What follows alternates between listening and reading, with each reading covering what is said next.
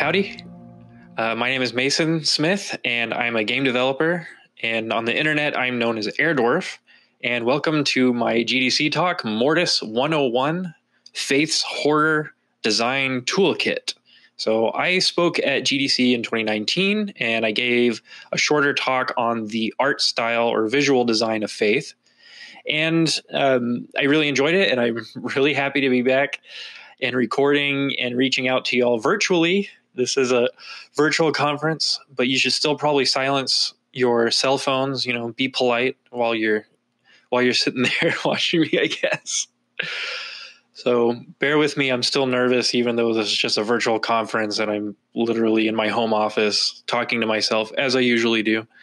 And so I'm still a little nervous. So uh, bear with me, but we're going to get through it. So Right. Mortis 101 Faith's Horror Design Toolkit. So I've been involved in the indie horror game space, uh, developers, designers, fans, since like 2015. That's when I really started getting into it. And these are some of the games that I've made.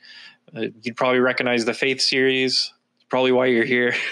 I also did several other titles that were smaller. And these are just some games that I've been involved in. And just for reference to kind of get to know me better if you don't know me yet. So these are some of my favorite games of all time, starting with Link's Awakening for the Game Boy. That was my very first video game. That was all mine. It taught me a lot about what games could be.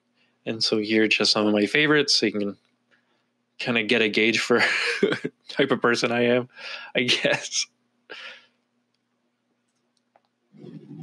And this is Faith trailer if you haven't seen it yet. 1987.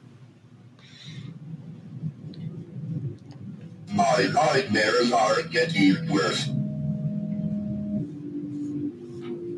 I have to finish what I started.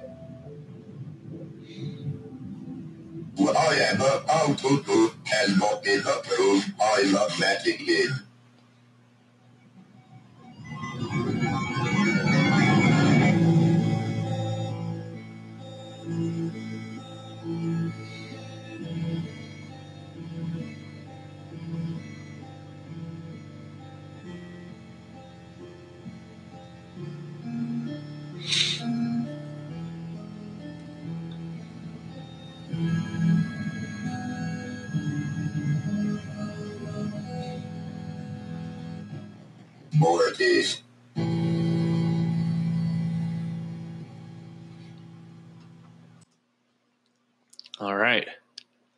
So that was the official trailer for Faith. So I started out with chapter one, which I released in October 2017. And then 2019, I did chapter two. And for chapter three, I've partnered with New Blood Interactive uh, to be my publisher. So we're going to bundle all three chapters into a Steam package and release it soon. we don't ever we don't have a release date yet. So um, a lot of y'all who know me and have heard me on interviews and stuff already know this, but just to kind of reiterate what my vision was going into creating Faith was can I deliver an effective horror game experience using just basic graphics? And um, that's kind of how Faith came to be. Faith is a retro inspired pixel horror game. I like to call them pixelated nightmares.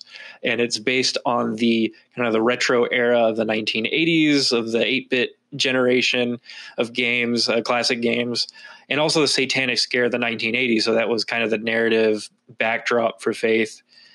And oh, uh, there's going to be spoilers ahead. So what I'm going to do is I'm going to demonstrate how I went about executing on that design vision, on that design challenge, and the specific design tools that I used for Faith. So um, there's going to be spoilers for chapters one, two, and three. So be ye warned. So you might be thinking to yourself, "So what? Who is this guy? You know, why should I care?" So um, Faith just crossed a, over 100,000 downloads, and it was included in IGN's 2017 Best Horror Games of 2017 and Best Indie Games You Might Have Missed. And it's in the top 10 most wishlisted horror games during Steam festivals. It's been played by big name YouTubers and accumulated a lot of views.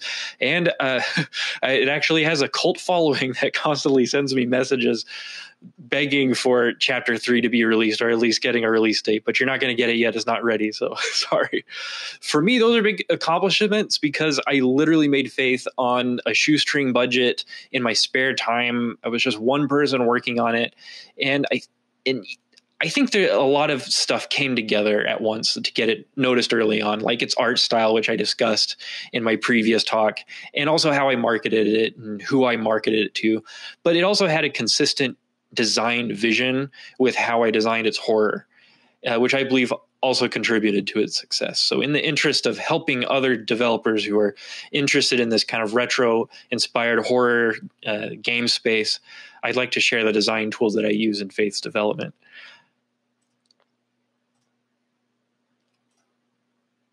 Okay, so this brings, before I go into the toolkit, I want to go over my personal design philosophy. And it starts with three very important components. So, number one is narrative. So, all games tell a story. That's at least what I think. and uh, it can be in game, like Mario must get to Bowser's castle and save the princess. That's the that's the story of the game in the game having to do with the characters.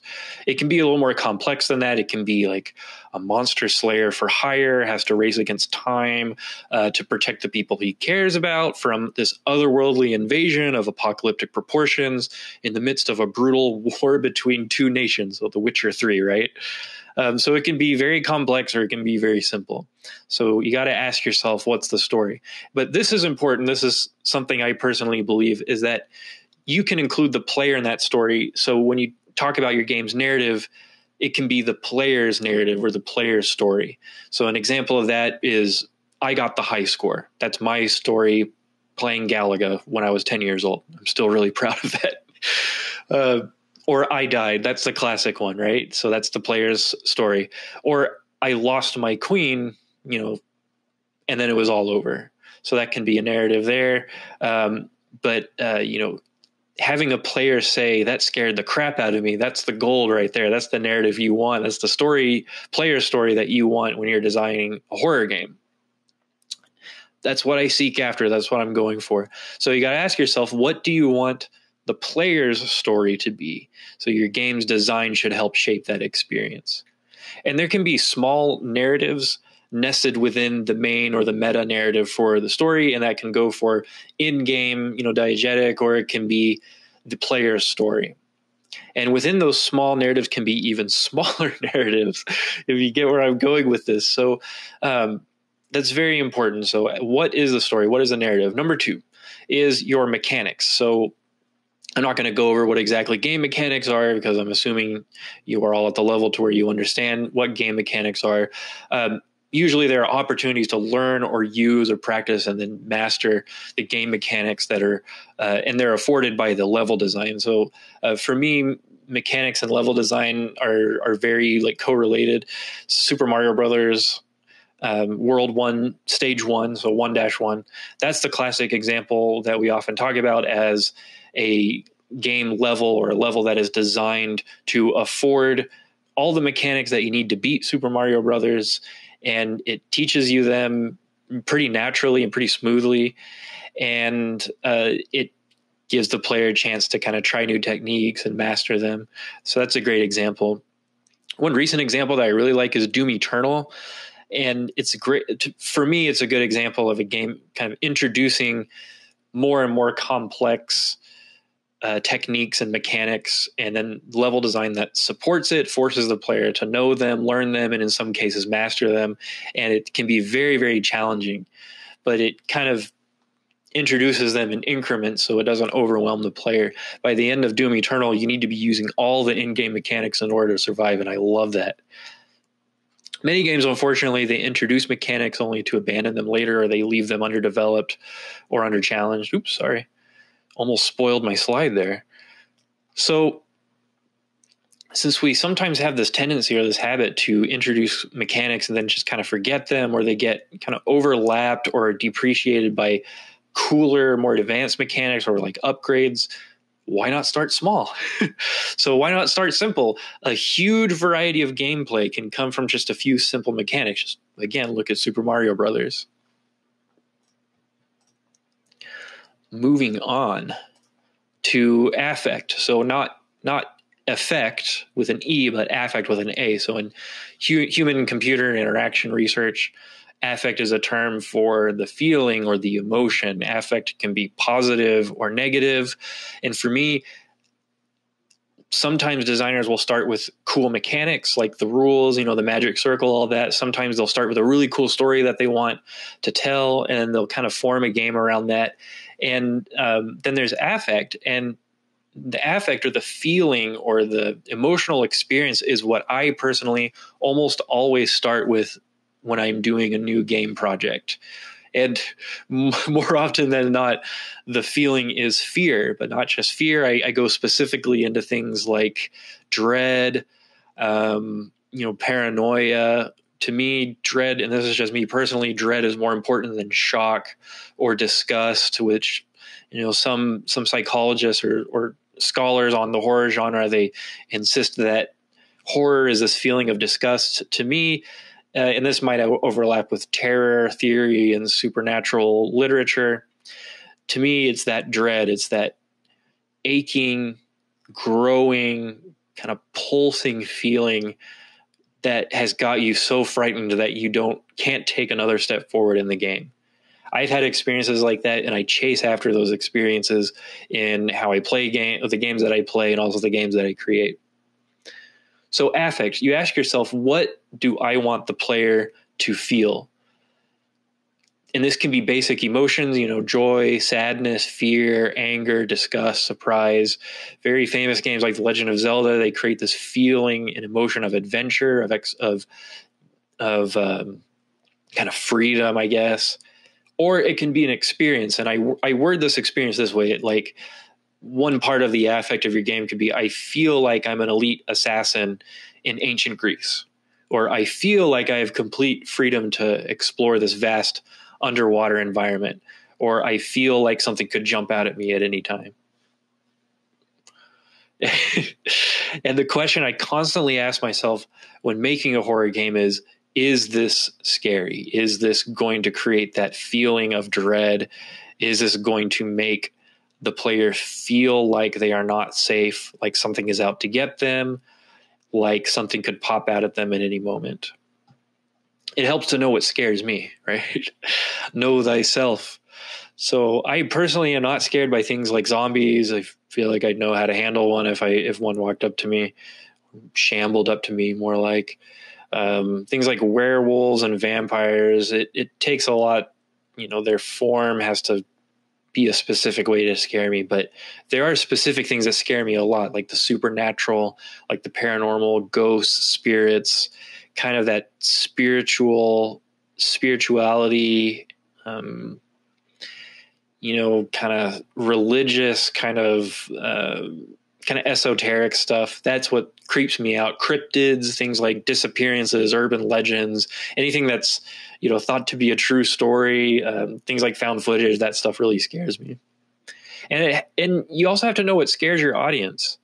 So in my marketing efforts and when I first started uh, formulating ideas for Faith and started getting into his design, I had specific targets in mind. So I had specific, I actually had it down to specific people that I want to scare. So I've been subscribed to Markiplier on YouTube. Some of y'all may know him. There's like 29 million subscribers on YouTube. And uh, I have been subscribed to him. He was the first YouTuber that I ever subscribed to. And I've been following him since the Amnesia days when he was playing Amnesia The Dark Descent and I followed him through Slenderman. I followed him through Five Nights at Freddy's and beyond, and he's changed a lot. But uh, from watching him, especially in those early years, I kind of got a feel for uh, what will get a big reaction after out of streamers and YouTubers. And when I saw the number that he was putting, um, now he was doing on his YouTube channel and just the mind-boggling amount of views that you can get from kind of tapping into streamers and YouTubers that's what I went for um, in my marketing is, uh, but that's probably for another talk. But I specifically went for YouTubers and streamers, and uh, it might sound creepy, but there are parts of Faith's horror design that were crafted especially to scare Markiplier. I don't know if that sounds psychotic or not. Uh, like mannequins. He really doesn't like mannequins, so I put a mannequin scare in Faith, and I, I created it uh, based on his behavior during his streams. I thought that if he would like a game enough, it would kind of get popular with his YouTube channel, and that would give me free views.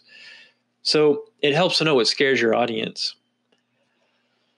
So these three components narrative, mechanics, and affect you identify them. And basically, every design decision in your game needs to directly support your chosen narrative, mechanics, and affect. If there is a design decision that you're thinking about that does not support them, then throw it out. Trust me. So that's what I personally did for Faith. Is I identified the game's narrative, mechanics, and affect, and then I kind of divided the structure, the design structure of the game into these chunks. You can call them, you can call them chunks if you want, uh, but you could also call them moments or vignettes, I suppose. Um, Adam, my advisor for this talk, kind of gave me, me that idea, that kind of calling it vignettes.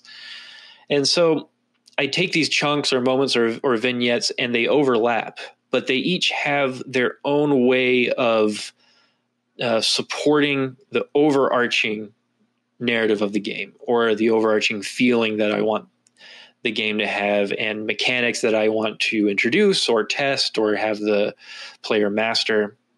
It all kind of overlaps and they have their own mini narratives and mini mechanics and many emotive moments. So everything that I put in faith or my games has to directly go into the narrative, the mechanics, and the affect. Y'all are going to be tired of me saying this by the end of the talk, but that's basically what I do. So this is an this slide is an example of kind of how I um, go about like the creative ideation of these moments or these vignettes. It's very tightly tied to the level design of of faith. And so I like to personally just get a notepad out or a sketch pad and and do a pen. I don't I don't like uh, pencils because then I get caught up in erasing mistakes. So I just go for it with a kind of a permanent marker pen.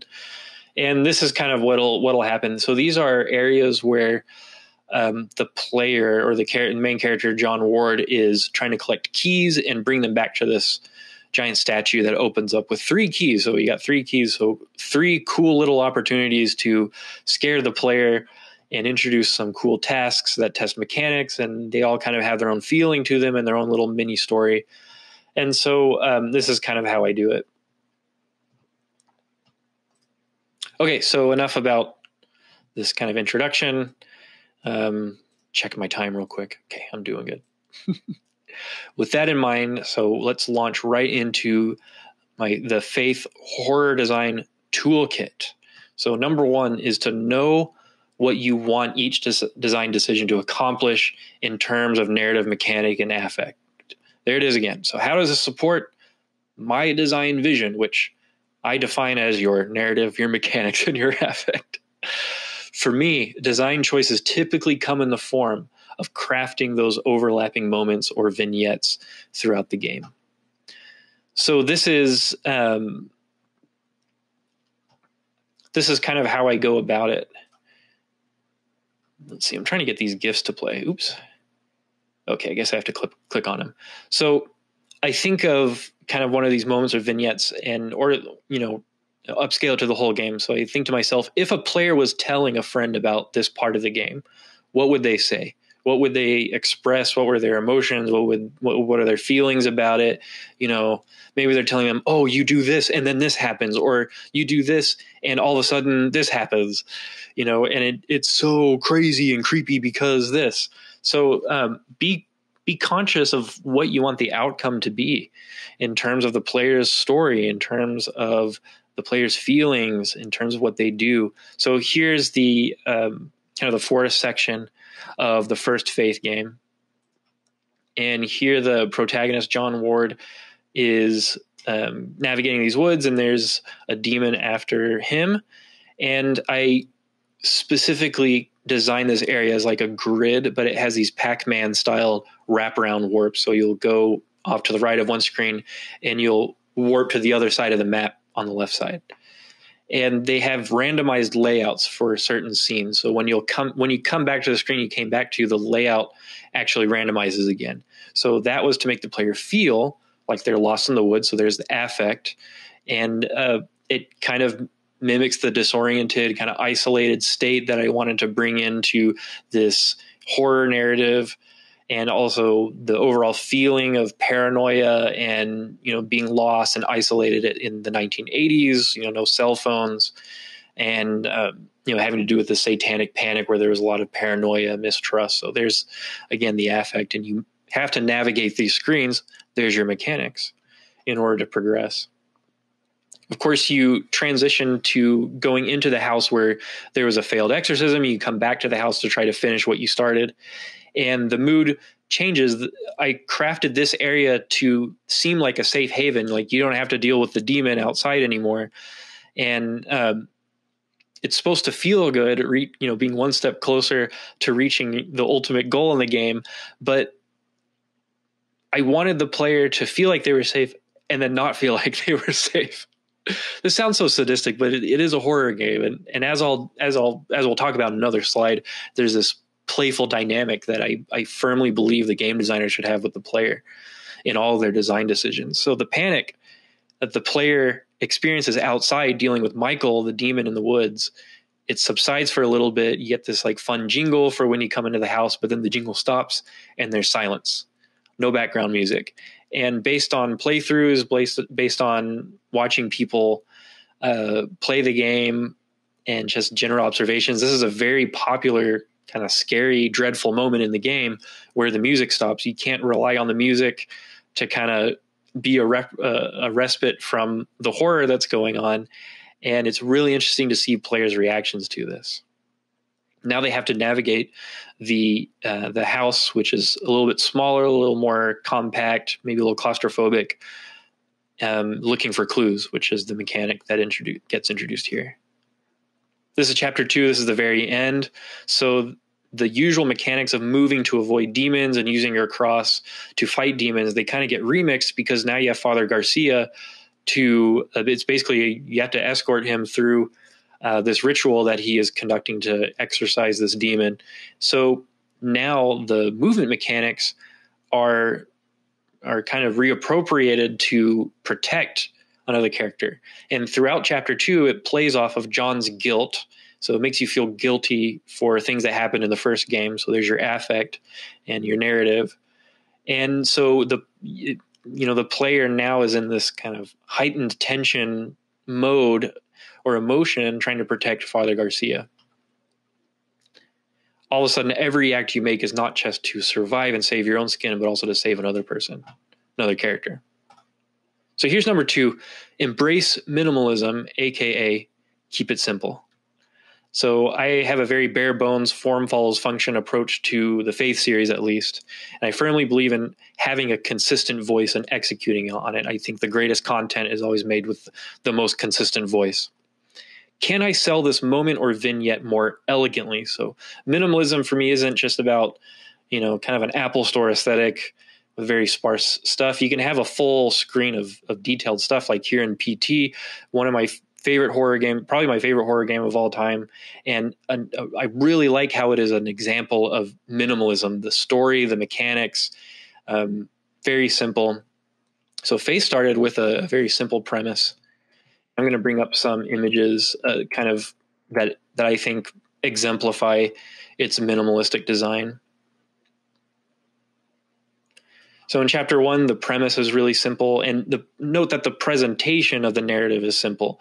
Faith has kind of a, a sort of complex lore or backstory, but it's pieced together by the player, and they can go as deep as they want.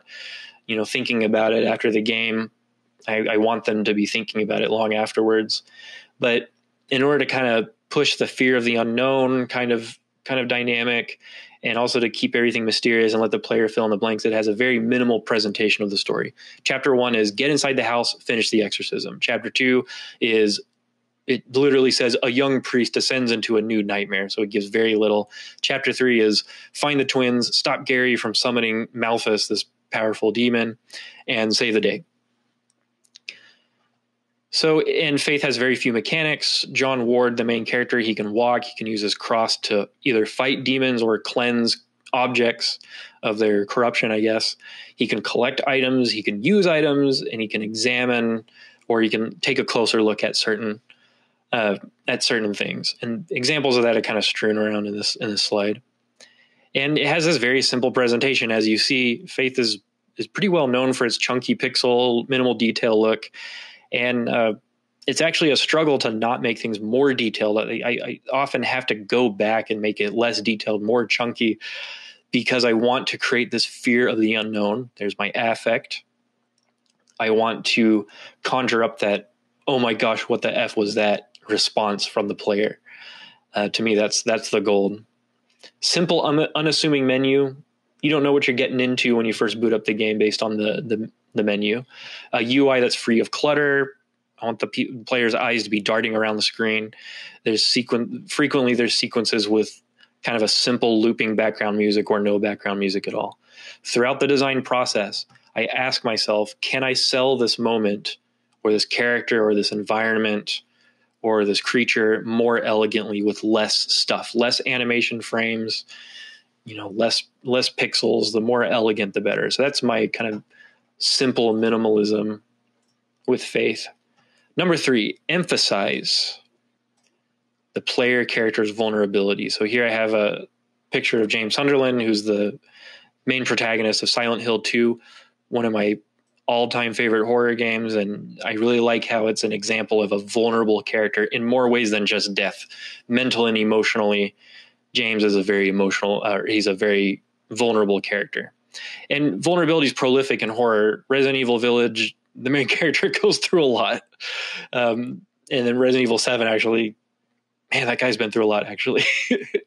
Faith has a one hit kill mechanic. Love it or hate it, he gets he gets killed as soon as the demon touch him. The simple fact that John dies after one hit, it makes demon fights in small rooms very intense. So intense feeling, there's my affect of panic and anything that looks out of the ordinary is potentially death. Anything that moves in the game or anything that's colored differently, you know, than the background and the environment I've seen players in, in playthroughs and, and, watching my friends play it. They get paranoid just seeing anything out of the ordinary. And for me as a as a horror game designer, that that's great. The consequences of death in horror games, they've historically been you die, you get sent back to the last save point, like the typewriter, uh, save up those ink ribbons, and uh, or a checkpoint, and you have to play back from that point. And it's a cycle. And it's a weird cycle that in, in it is revealed this major issue for horror game designers i believe which is anticipating player death if you choose to put that in your game again that's a mechanic you can choose to put in there so assuming the player character can die how do you handle that how do you handle the pacing of like the retry process because when you retry over and over with very few exceptions uh, the unknown becomes known again and it can be considered punishing the player by sending them too far back. So this is where QA testing becomes really important because it will help you identify areas where, where deaths happen. And with that, I like to be kind of generous with spawn points. Or um, I try to identify where I need to put a more closer spawn point to the place where the player is likely to die again. So these are two examples of environments where the player goes off and does something. Uh, John goes off into the cemetery and fights a bunch of demons to kind of unlock, um, you know, this puzzle in this area. And then in the the right side of the screen, it, there's a similar kind of item collection task. And so I put a manual save point uh, right in the middle of the environment, and the player can choose to save there if you want if they want and um, so if they have this vulnerability, if they're highly vulnerable to death, then be more forgiving with the the save points.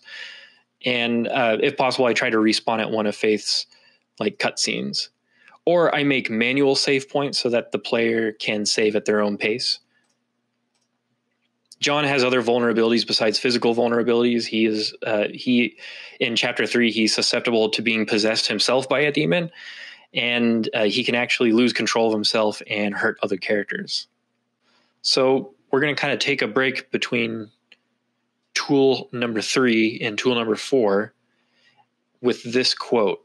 And it's one that I really like. And it kind of describes the element of playfulness between the game designer and the player. The most provocative game design possibilities are found where the role of the designer as an advocate for the player is disrupted.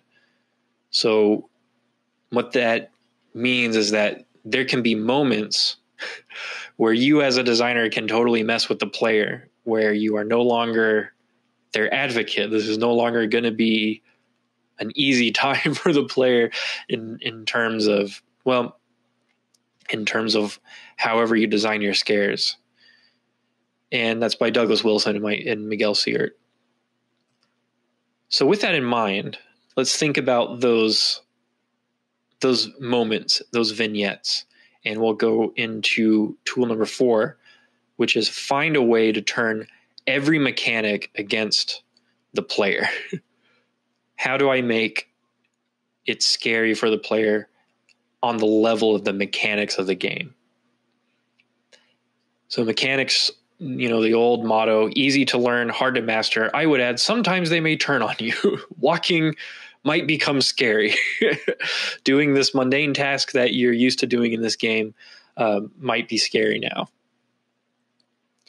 And it's it, it it's kind of a way I discovered, kind of a fun little way to surprise or panic the player without resorting to a cheap jump scare. I could probably write an entire presentation on how I feel about jump scares, how I think they could be used in a more effective way. And, but we'll just leave it at that. It's a way to kind of surprise or introduce this kind of oh crap moment with the player without resorting, you know, re- resorting to a cheap jump scare. In the case of faith, I asked myself, how, to, how can I make walking scary? How can I make reading, picking up a note and reading it scary? Uh, this is this was kind of my way of addressing the like cursed old game that you find at a garage sale, kind of creepy t- uh, trope, without the obvious fourth bo- fourth wall breaking stuff.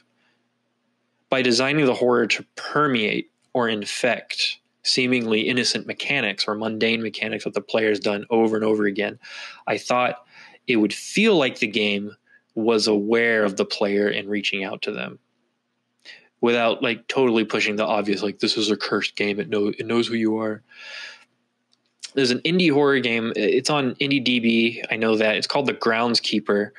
And the designer knew that when people get scared playing a game they will they will they tend to pause the game to kind of catch a break and so during scary parts where you're being chased by uh, a monster if the player pauses the game, they get something really scary instead of the pause menu like they were expecting. And as I saw that years ago, and I loved it.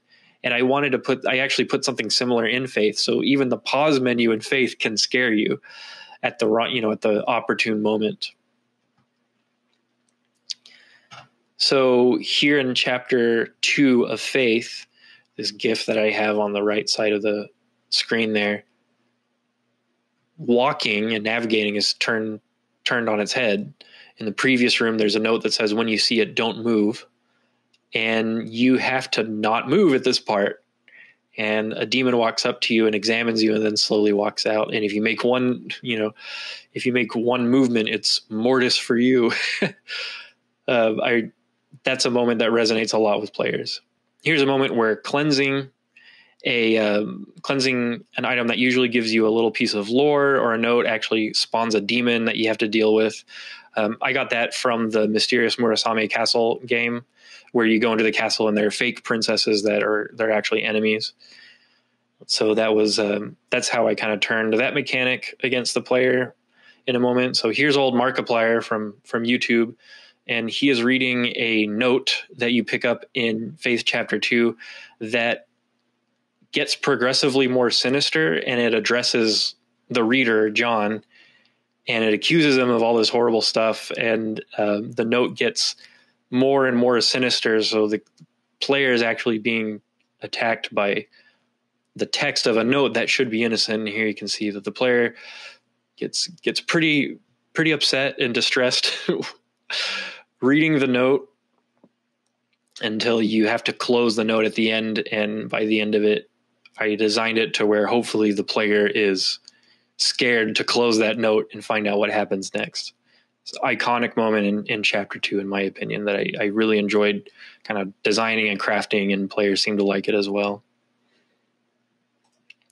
And then um, there's some scares that actually hide behind the UI of the game. So here's an example in Faith Chapter 3, where the closer look or the examine mechanic um, gives this this cultist or this this enemy an opportunity to sneak up on the player and surprise them. Ah, here's a fun one. Um, this is a big one for me, and that is earning the player's trust so that you can oops, so that you can shatter that trust. what parts of the game does the player think do does the player think are safe? And how do you invade that? how do you invade that safe space, so to speak, in the game? What parts of the game do the player think is safe? Is it the save room? Is it a particular corridor or hallway? Is it a particular part of the game? It can be tempting to never let the player feel safe, like they're always in danger. See, for an example, see Five Nights at Freddy's 2. But I believe in in that playful relationship between between designer and player, especially in horror. And but you have to find those moments, right? Those vignettes. And this is where you kind of uh, I'm going to introduce kind of the hero moment. This is another term that um, that Adam, who my advisor for this talk, kind of helped me come up with for for how to express this. The Resident Evil series is great at forcing the player to backtrack, but then it it recontextualizes the environment of the game to where you'll be backtracking thinking it's just another hallway i've already cleared it out and then boom something scary will happen like a dog the classic dog uh, jumping out of the window and shattering the glass. It's a great great uh, horror gaming moment. And so the resident evil series is really good at doing this earning the player's trust so that they can shatter it. So in faith chapter one there's the catechismus or the training mode where it teaches you how to do the mechanics of the game, but it teaches you as if the game is this kind of arcade kind of con, you know, uh, get rid of all the demons kind of arcade experience. But for anyone who's actually played the game, when you actually get into it, it's not like that at all. It's actually uh, much worse than your training. And I wanted to give that feeling, the affect of being in a situation that you didn't get training for, that you weren't prepared for. Uh, here's old Markiplier again reacting to this innocent looking tree that transforms into a demon and runs off. And then in the next screen is filled with trees that are exactly the same. so this was a fun little moment. Uh, you never see the tree demon again, but I I really wanted there to just be this random tree demon to make the player not trust anything for the rest of the game. And uh, I got a good reaction out of Markiplier for that, and and most everyone who plays this moment gets gets pretty freaked out again, that's the gold for me. In Faith chapter 3, the elevator is a safe haven until it's not, until enemies start peeking in on you when the doors open. So, a, a place that was supposed to be a safe haven for the player or non threatening is now threatening.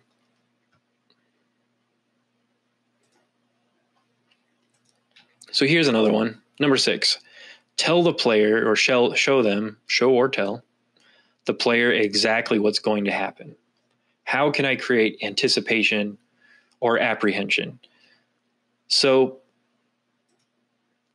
giving them just a little bit of what's going to happen, not telling them how or or where or when in the game something's going to happen, but but just showing them this scary, see the scary thing, it's coming for you.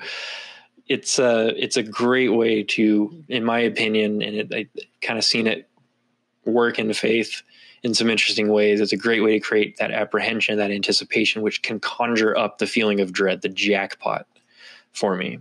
So in Fatal Frame 2, the build up to the first ghost kind of encounter in Fatal Frame 2 is my opinion in my opinion it's I love it. It's a masterclass of horror design from the very first parts of the game up until maybe 15 minutes in. You're being fed this this ghost is coming after you and knows you're there. And this is what happens to people who find the ghost and come across it. The player doesn't know when they're going to face the ghost, how they're going to deal with it, and that anticipation is just so great. Uh, in in filmmaking, Alfred Hitchcock had this saying where if you, I'm paraphrasing, if you you show a revolver sitting on a table in Act One, then you you better believe that that revolver is going to go off by the by Act Three or something like that. So you create this feeling of anticipation. It's not the explosion of the bomb going off; it's the anticipation of it going off. That's the thing. Uh, I made another game called Summer Night for the Dread X collection, and the starting screen says absolutely nothing scary happens in this game. for best results, play in a dark room and wear headphones. Press escape key to turn back now. Alt F4 to leave at any time. So it tells you exactly what's going to happen. Something scary is going to happen. The form it takes, the when, the how, the where, the player doesn't know.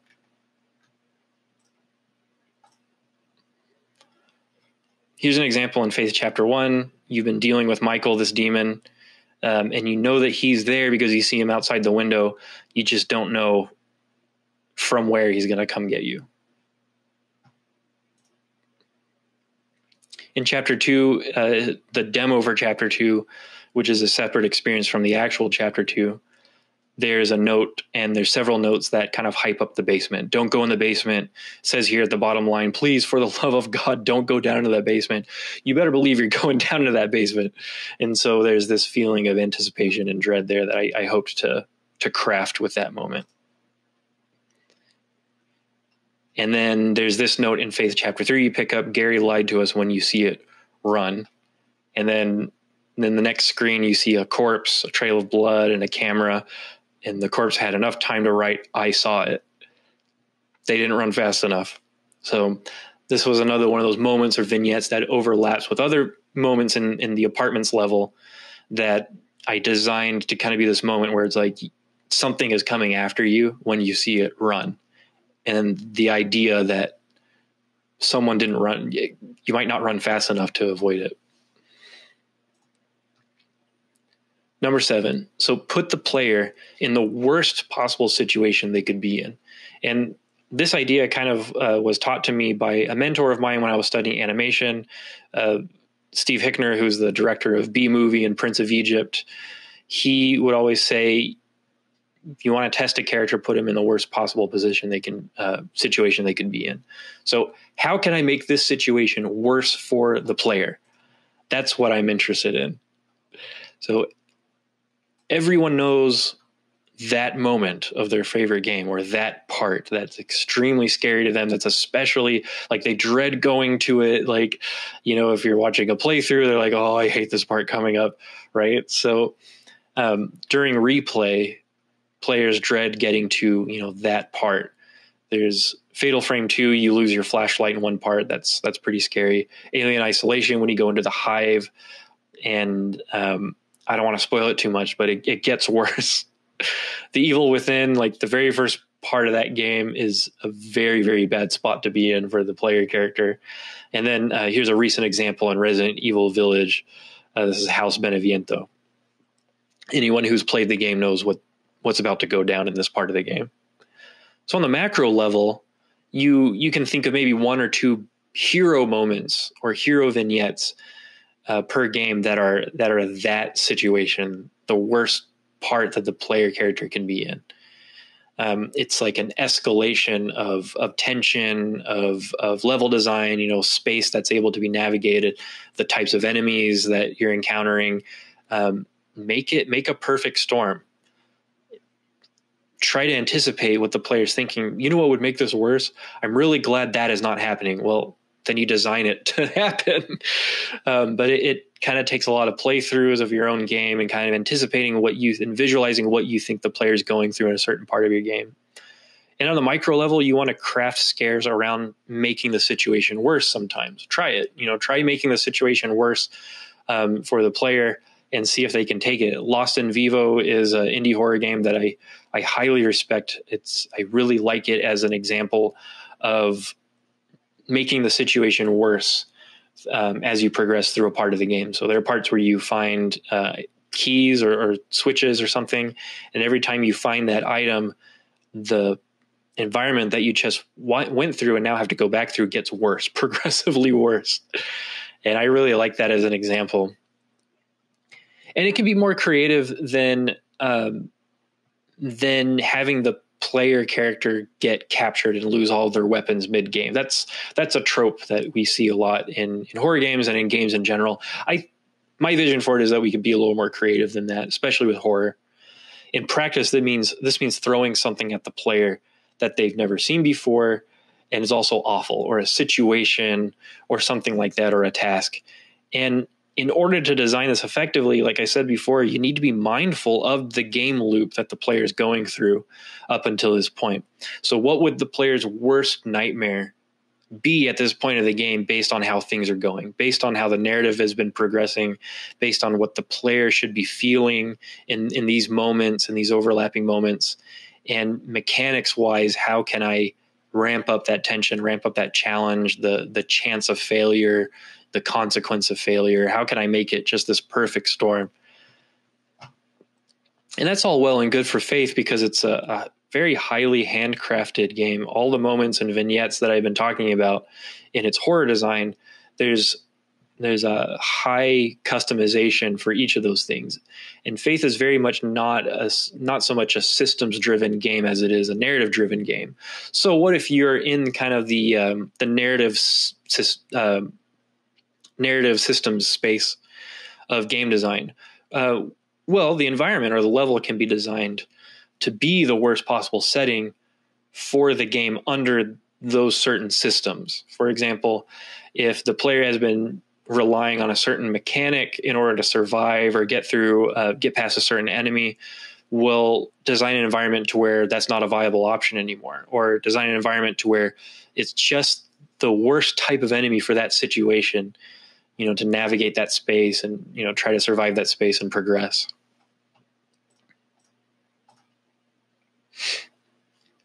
In chapter three, uh, the player actually has to give up. Let me see if I skip something. No, I didn't skip it anything. Um, in chapter three, the player actually has to give up the cross that is their only means of defense against demons.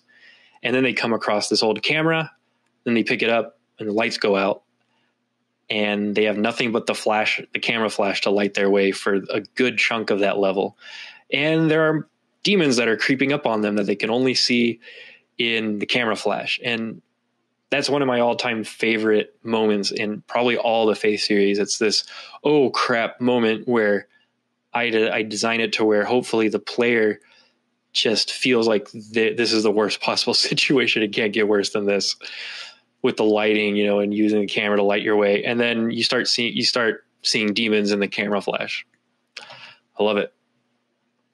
Chapter two has a part where, and a lot of this has to do with light not being able to see uh, the the screen space and the UI of Faith affords the player to be able to see a lot of things at once. It's not first like the first person perspective where your viewing range is actually very limited compared to the entire environment. In Faith, you can usually see the entire screen, the environment of the screen, but once you pick up the flashlight in chapter two, then you can only see through this narrow flashlight beam, and then you have to fight a demon with it. And um, I kind of designed and crafted this moment to be really tense because there are actually hallucinations of Johns that are darting in front of the flashlight beam during this fight. And based on player reactions, this is a, a pretty fun moment to watch as a game designer.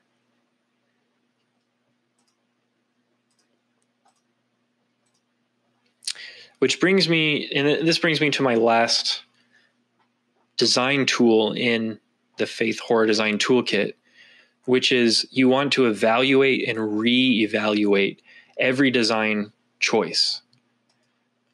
Is this scary? Simple as that. Does this moment sell the feeling that you are being stalked by something that you can't see? Or does this really truly remix or test or challenge the mechanics that I've introduced in the game so far? is this scary? And then ask yourself, am I sure this is scary? what is the point? So um, figure out the point You know, the deliberate design based on narrative, mechanics, and affect of that specific moment or section or fight or enemy of the game. And then be honest with yourself. If you if if it's not supporting or contributing to your design vision, then toss it out. You don't need it. So Faith chapter 1 had a very lengthy uh, flashback to the 1980 the, the first exorcism the one that went wrong before the events of the first game and it and I, I ended up taking it out of chapter one because it for me it messed up the pacing. It didn't really fit the ambiguous narrative the you know the uncertainty of what actually happened back then. And i wanted to keep the player focused in the here and now of of what was going on in chapter one, and so uh, I didn't really feel it was necessary anymore. So I tossed it out, and I'm glad I did it because it it was a part of consistently sticking to my design vision.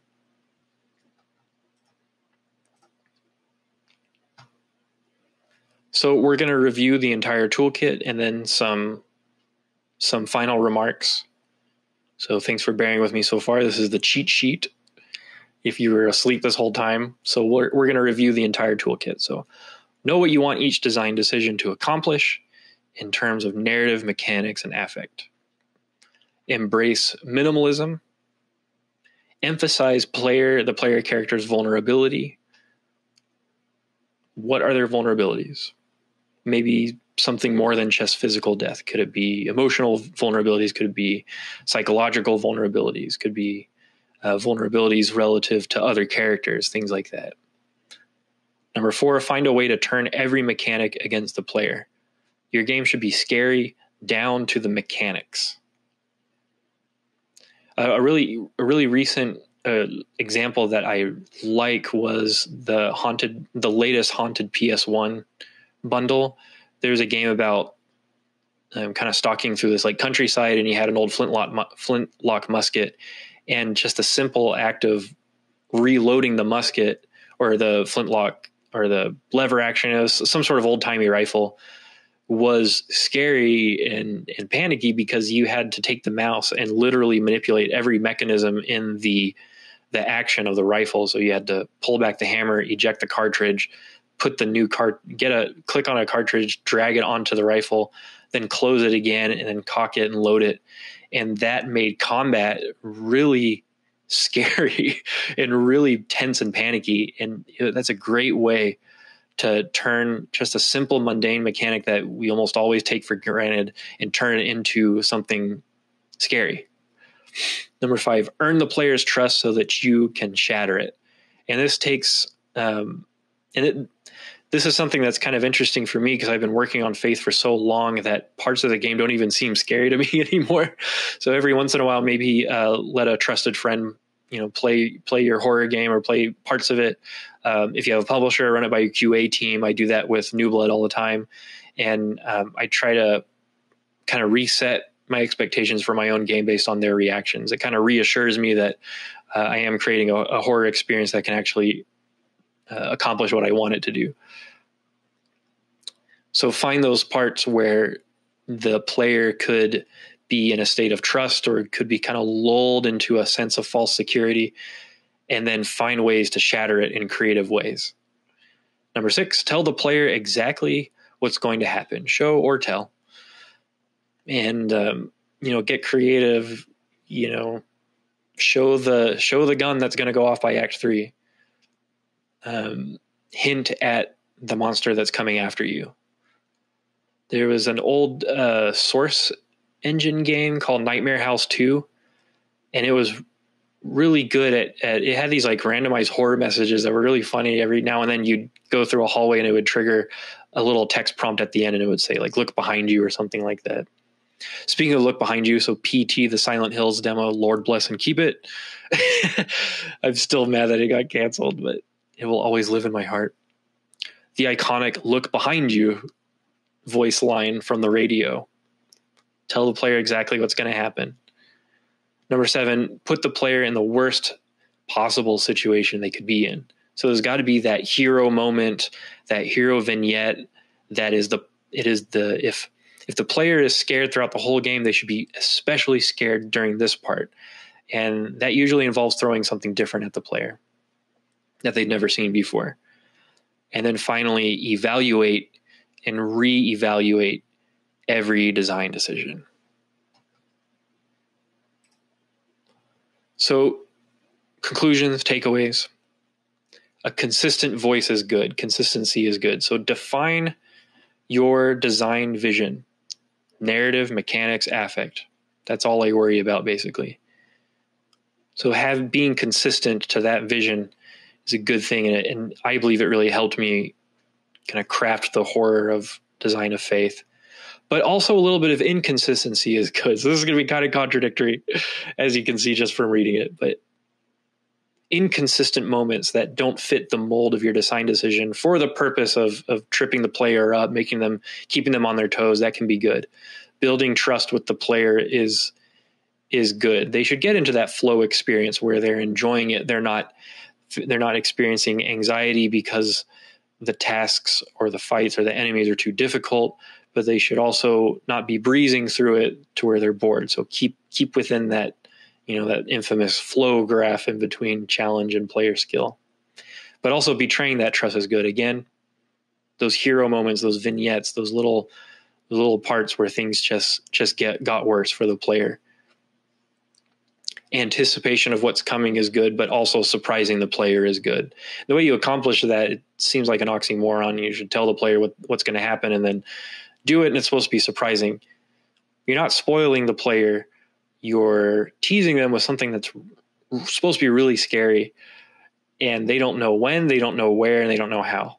So that's what you play off of. Kind of adhering to this design vision and this toolkit was how I managed to a finish the game, you know, finish creating, finish developing chapters one and two on a shoestring budget and with just one person in my spare time, basically. So being consistent and having faith to uh, about my design vision and my design kind of techniques. That's what got me through it, and that's what I hope will make Faith uh, Chapter Three into a unforgettable horror experience. So thanks. thanks for bearing with me on this talk. I hope that you learned something. And, um, you know, a disclaimer I don't claim to be like a game designer or game developer extraordinaire. This is just what worked for me. This is ideas and techniques and design tools that that I was able to kind of put together and articulate in this talk that really helped me kind of in my vision for what I wanted faith to be. Remember, it started with this, this simple design challenge could I make an effective horror game experience using just basic graphics? And I, th- I think that it's been successful in its vision so far, and adhering to these techniques really helped me. So I hope that it'll help developers who are in a similar situation as me. So here's my social. You can find me on Twitter at Airdorf. That's actually the best way to contact me and uh, join the New Blood Discord. That's where the official Faith Discord channel is. Uh, come hang out. I'm always uh, hanging around there. And uh, GaryLovesYou.com. That is where you will find Faith's Steam page. I hope to finish it sooner than later. and always remember that Gary loves you. Thanks.